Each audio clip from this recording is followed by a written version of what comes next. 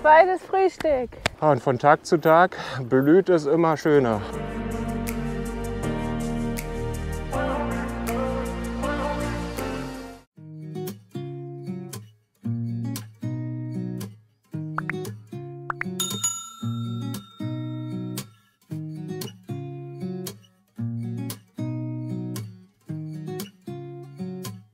Guten Morgen, die Sonne scheint.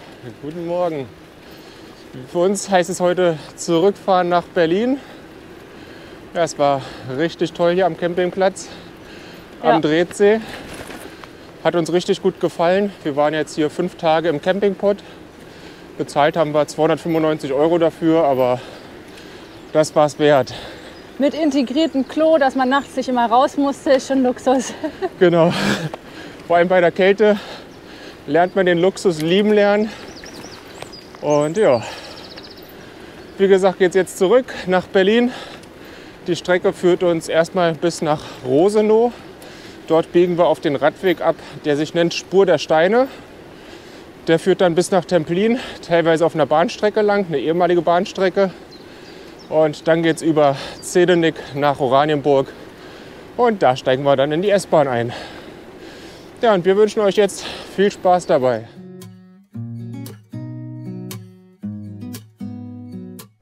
Eieiei, das ist ja ein Start heute hier.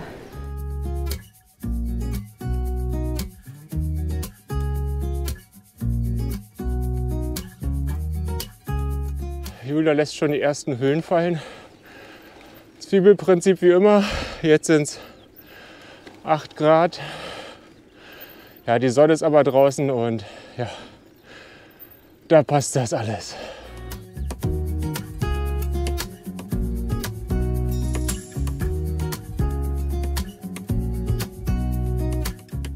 So, vor uns liegt jetzt Turmsdorf. Da müssen wir dann irgendwo halb rechts abbiegen und dann müssten wir auch schon bald in Rosenow sein. Da steht es auch schon dran. Nach Rosenow sind es noch vier Kilometer. Ja, und ich werde jetzt mal anhalten und mal die Belüftungslöcher aufmachen von der Jacke. Hier weit stellen, da weit stellen. Ja, und das wäre dann auch mein Tipp für euch. Wenn ihr euch eine Regenjacke kauft, nehmt welche mit Belüftungslöcher unter den Ärmeln. Wenn ihr dann den Kragen, nicht den Kragen, was ist es, den Ärmel weit stellt, weht ein laues Lüftchen durch und dann kann man das Ganze gut temperieren, dass man nicht überhitzt. Ja, die dicken Handschuhe packe ich jetzt auch mal weg. Und ich ziehe jetzt auch noch eine Schicht aus. Ich habe immer so eine ganz dünne und ganz leichte Jacke dabei. Aber das ist die beste, weil die hält so viel Wind ab und ist sehr, sehr dünn. Und wärmt ungemein. Und die hat aber auch Lüftung unter den Armen. Ja, es ist nicht nur so ein schwitziger Sack. So, Du hast einen Vorteil, du hast die großen Ortlieb Backroller dran mit der Außentasche. Ja, mit dem Netz. für mich waren die ein bisschen zu groß. Na, man kann sie ja immer wieder klein knubbeln, das ist ja das Tolle. Ich kann sie halt bis oben füllen oder einfach zusammenrollen und enger stellen. Naja, wenn ich mir die Taschen auch zulegen würde, dann würde ich nur auf dumme Gedanken kommen und noch mehr Gepäck einpacken.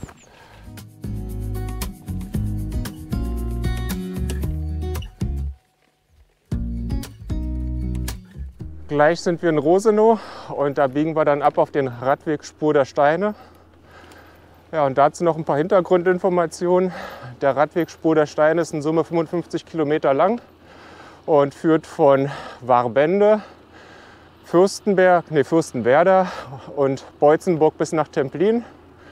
Es geht dann durch den Naturpark Uckermärkische Seen und die Region ist bekannt dafür, dass sie sehr steinreich ist und dementsprechend gibt es viele historische Bauten aus der Backsteingotik. Ja, insbesondere Beutzenburg ist dabei hervorzuheben. Sehr schöne Stadt. Wir kennen sie schon. Ja, leider fahren wir jetzt Richtung Süden, deswegen können wir es jetzt diesmal nicht auf der Kamera festhalten. Aber vielleicht können wir das dann irgendwann nachholen. Und wenn ihr den Radweg ja nachfahrt, dann werdet ihr Beutzenburg selbst erleben.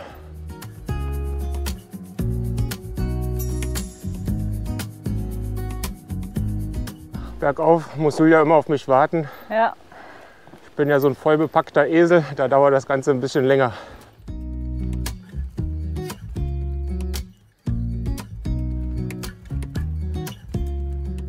Ja, Julia ist da hinten schon in Rosenow und auf der rechten Seite werden schon die Felder bewirtschaftet. Und von Tag zu Tag blüht es immer schöner und immer prächtiger.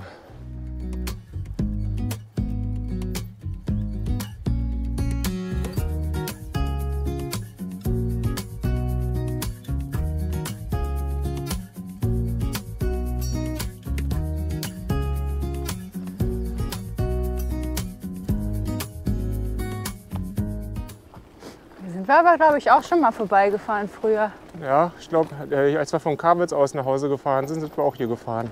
Ja.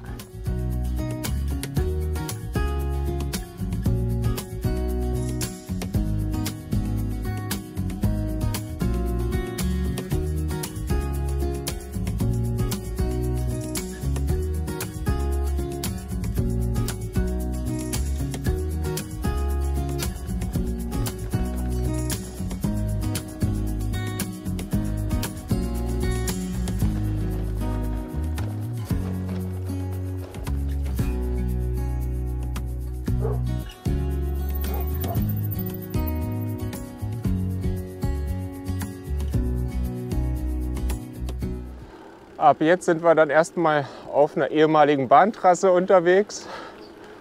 Super asphaltiert. Es geht oftmals leicht bergauf, leicht bergab. Also kann man hier gut Tempo machen. Ja, richtig toll. Links und rechts geht es halt steil bergab. Immer mal wieder auf und ab. Und wir haben hier eine komplett ebene Fahrbahn.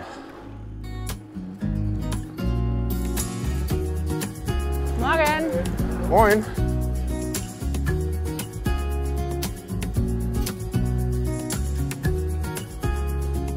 Du legst ja ein strammes Tempo vor. Naja, wir essen zeitig. Schon wieder Hunger? Klar. Außerdem habe ich Sorge, dass meine Babypflanzen zu Hause eingegangen sind. Ich habe sie ziemlich überwässert in der Hoffnung, dass sie bis heute überleben. Oh oh. Ja.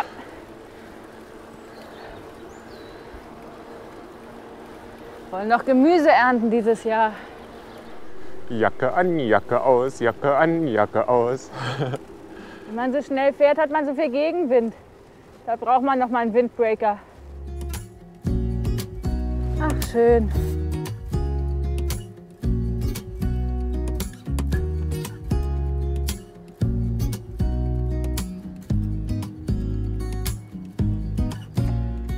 Glückliche Kühe.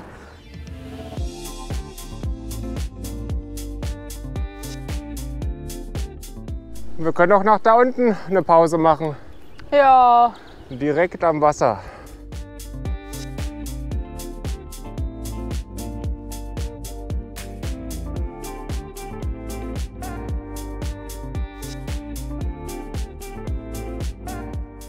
Da hinten ist ein Platz in der Sonne.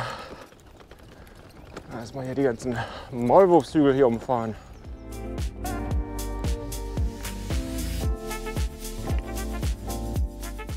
Zweites Frühstück.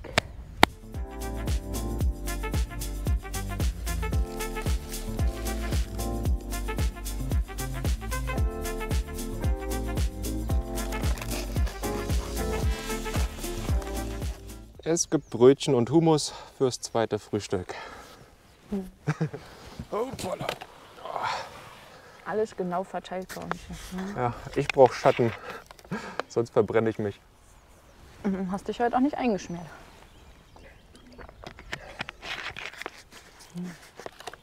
No risk, no fun. Eigentlich hatte ich noch gar keinen Hunger, aber bei dem Rastplatz hier sollten wir auch die Haare lang wachsen lassen und dann auch einen Zopf machen, weil dann habe ich nicht so eine zerzauste Frisur nach dem Helm abziehen. Einfach wieder kürzen. Bin schon gespannt, wie ich dann aussehe nach drei Monaten Radreise. Wolle Petri kommt zurück.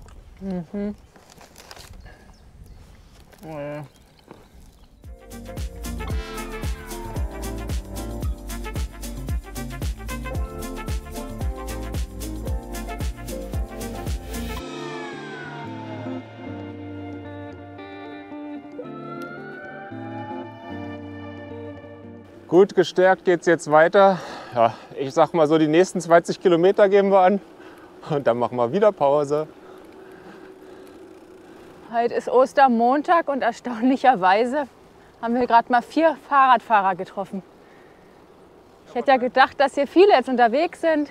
Toller Weg, Freizeit. Wahrscheinlich ist es noch zu früh. Jetzt ist es halb elf und die meisten schlafen jetzt ihren Er- Osterfeuerkater aus wahrscheinlich. Wir suchen noch die letzten Eier von gestern. hä? Und wir sind jetzt in Warte. Das war gerade die Freizeitanlage von, vom Dorf Warte. So schön gemacht, wirklich. Jetzt links. Ich sehe auch gerade. Komisch, da hinten standen noch irgendwie 25 Kilometer dran, hier nur noch 12. Von hier sind wir hergekommen, dann über Tomsdorf. Ich weiß nur nicht genau, hier über Rosenow runter und dann glaube ich hier lang. Und jetzt sind wir hier in Warte. Und wir wollen hier lang bis nach Templin.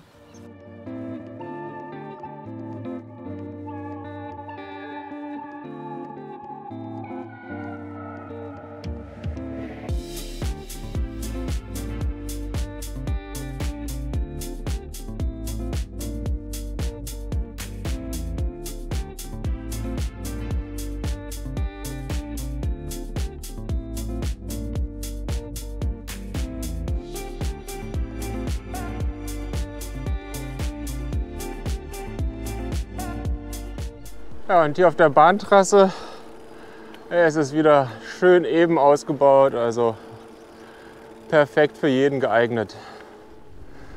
Ja, und hier machen wir sonst immer Pause.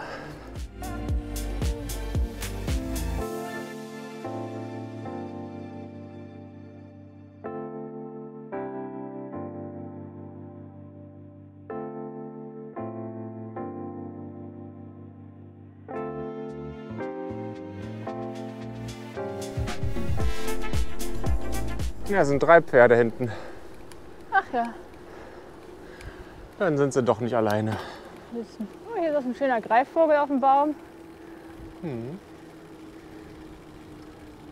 Ganz gelbe Das da, der Ast ist schon ganz schön durchgebogen.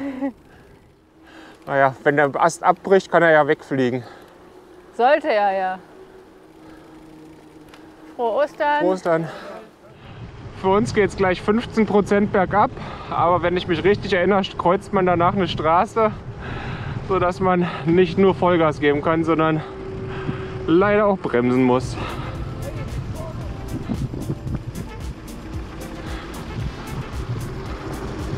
Ja, und da ist die Straße, die man kreuzt.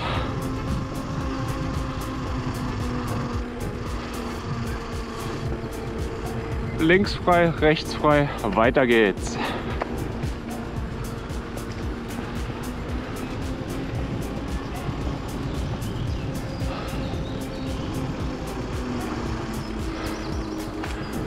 Tja, und wo es bergab geht, geht's auch wieder bergauf.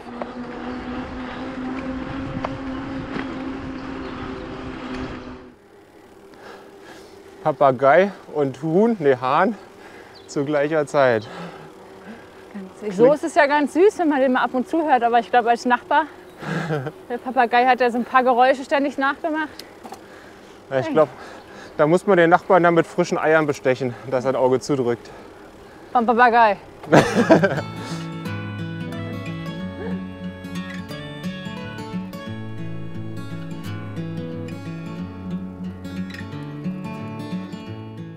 Zack, da sind wir falsch abgebogen. Es geht hier am Wasser entlang weiter.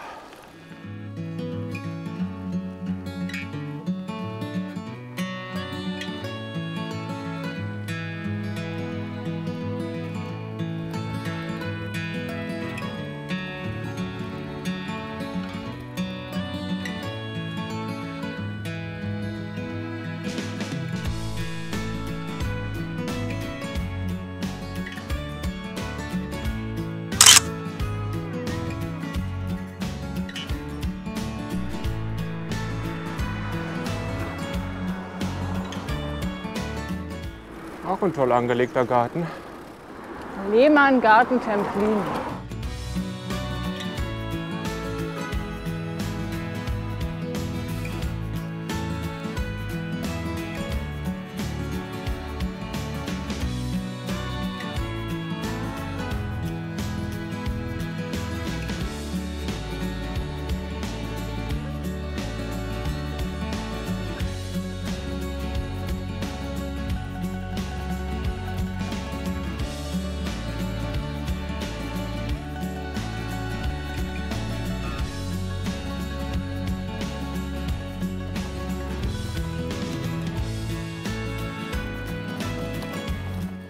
Wir sind standhaft geblieben. Es gibt jetzt kein Eis, wir haben ja noch Kuchen dabei. Und jetzt suchen wir uns eine schöne Stelle aus.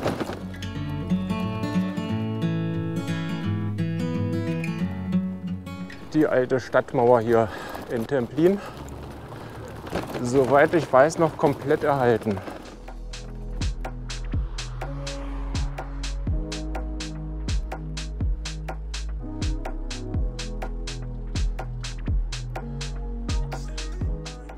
So, wir nutzen jetzt hier nochmal den Schwung aus und dann machen wir eine Trinkpause.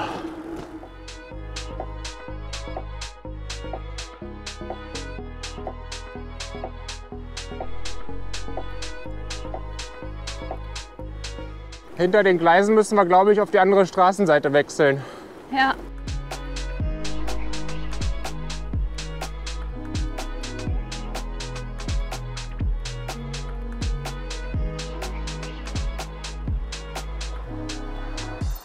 Jetzt fühle ich mich veräppelt. Das war's mit dem Radweg. Ja. Schöner Schnörkel und dann jetzt Landstraße oder wo lang? Ja. Ansonsten da lang ging irgendwie auch noch ein Weg. Nee, der, ist, der führt aber in die falsche Richtung. Na, das ist ja eine. Verpflichtender Radweg und dann hört er einfach auf.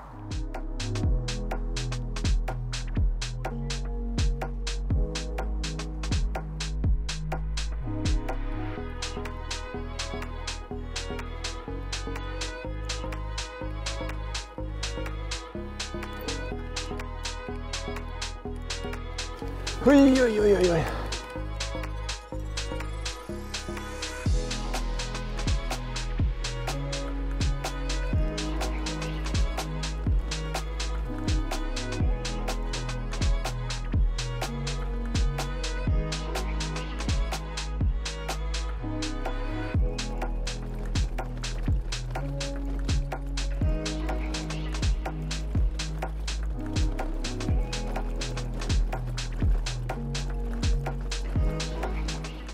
Ja, kurze Planänderung. Wir sind dann von Zedenik nach Oranienburg doch mit der Regionalbahn gefahren und nicht mit dem Fahrrad. Ja, Ja, ich habe eine leichte Blockade im Hals. Äh, Ja, die Matratze war für mich dann doch ein bisschen unbequem und da fährt sich dann doch nicht so angenehm. ja, also mit Schmerzen Fahrrad fahren, da sollte man dann lieber auf seinen Körper achten und auf den hören. Das haben wir gemacht. Dementsprechend haben wir jetzt abgekürzt. Ja, unsere Isomatte ist halt bequemer als so eine Matratze. Naja, was soll's. Ähm, Ich verlinke euch einfach mal das Video in der Ecke. Da bin ich nämlich schon mal hier die Strecke lang gefahren von Zedenik nach Oranienburg.